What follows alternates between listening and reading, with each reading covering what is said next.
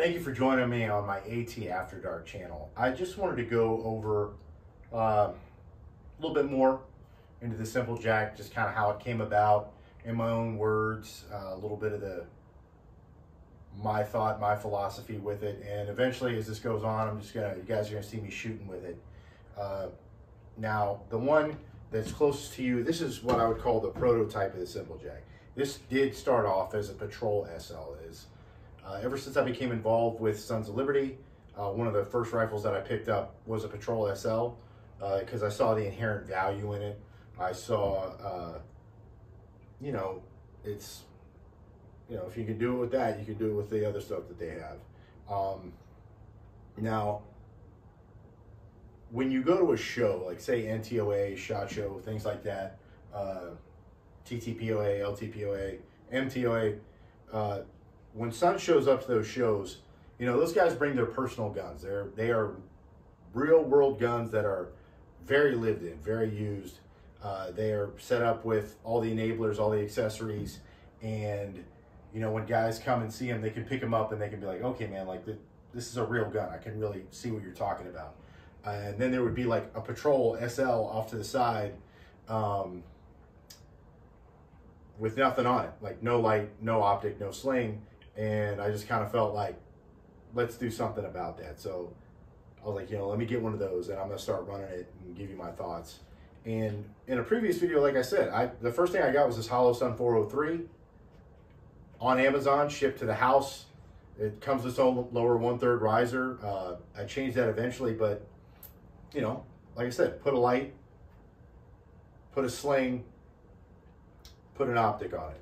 I eventually went with the Unity riser because I knew that I was going to be putting the HRF skiff on it as well uh, to put lasers just to show what it is that you could do with this. So this was a standard Patrol SL optic, light, sling, put the HRF magwell on there.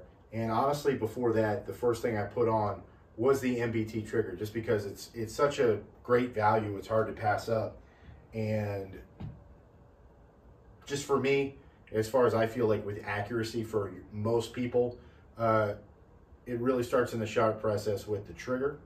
I mean, there's a lot of body position, there's a lot of mechanics, obviously that's involved, uh, but for me, I think a trigger will take you further than a rail. That's just my opinion. Now, also, because I got love for the streets, okay? Uh, whether, whoever you are, what your job is. Regular dude, you might be the police, deputy, whatnot, right? You might not have a lot of money. You're like, what should I get? What should I do? Well, if you're not messing with night vision, you actually don't need a rail because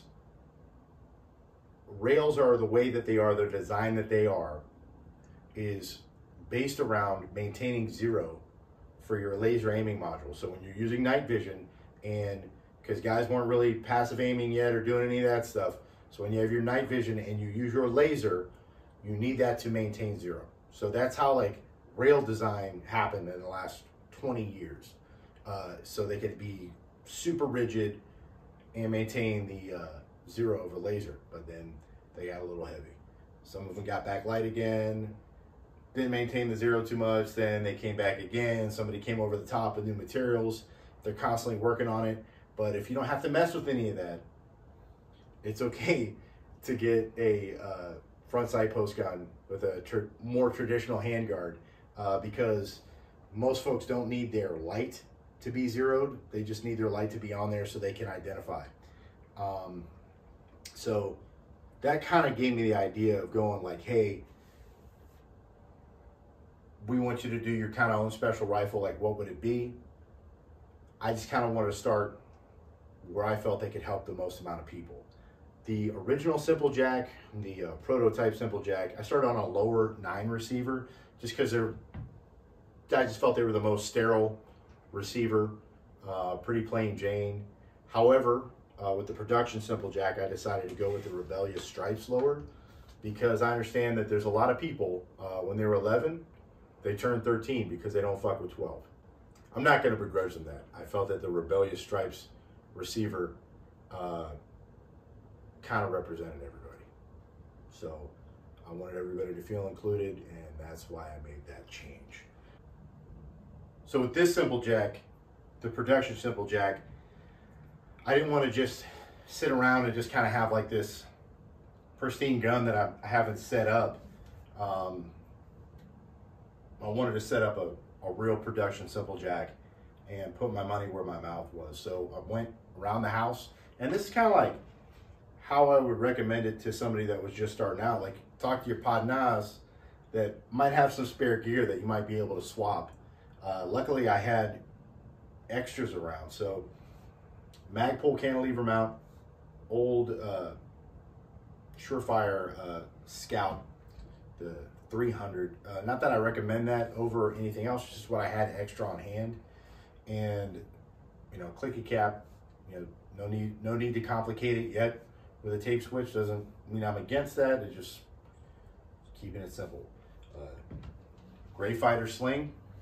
He's a homie of mine. He sent me a sling. So luckily I had a spare sling on hand and put it on here. It's been working out great. Comp M2 and a, and a LaRue mount. I mean, that that's some peanut butter and jelly level of synergy that has been around for a while and is proven. They have other stuff out now, but uh, luckily I had this bad boy on hand. So this is a very, very simple, uh, but very rugged, very usable, and very realistic setup. Now, I've been seeing people's comments. I try not to live in the comments, but a lot of people have uh, saying like, well, this is overpriced or I could get this for this money and that for that money. And I bet you can, dog. I bet you can. Um, for me, and as far as my relationship, that any relationship that you see me having with a lot of people or organizations or companies, those are filled with people. And most of the time, my relationships really are with people. And I'm loyal to people. And the dudes that build these guns, the armorers that build these guns, are real dudes. And I know every single one of them.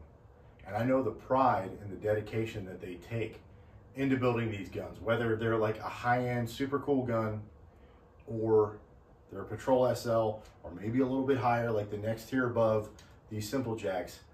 Like, I know they give a shit. I know they give a shit. You know, when somebody has a lethal force encounter, be that uh, a private citizen, police, and it's a good shoot, and you send them the receipt, and they say, "Hey, man, I need this. I need this gun while my gun is in evidence." You know, I don't know if you guys know that about Sons of Liberty. Like they do that, and those guys, they want to know who built the gun, and it's not for some like misguided bloodlust, like oh, I got bodies. It's like no, they want to know that when they showed up to work, whenever they showed up to work, and they built that gun and it went out to somebody that they did not know, that on the worst day of their life, the gun that they built did not fail that person because they give a shit. I don't know who's building your gun somewhere else. I don't know those people. I don't know if they're professionals. I don't know what they're getting paid. I don't know how much they care. I don't know if that means anything to you, but it means something to me. Okay? And that's the confidence that I have in these guns because of those dudes. I don't know if you can put a price on that. I don't know how you quantify that, but it means something to me. All right, guys. Have a good one.